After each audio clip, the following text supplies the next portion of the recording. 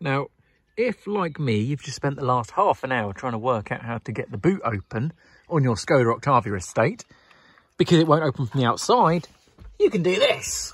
You want to climb in the back, underneath the boot area, where the latch is, you'll see this lovely little little panel. So you grab yourself a nice little flat bladed screwdriver and you pop it in there.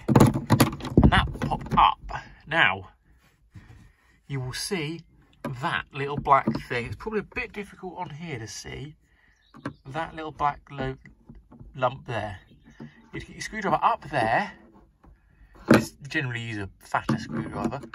Pop it in there and simply just turn it. You basically pull it, it, voila, you're out.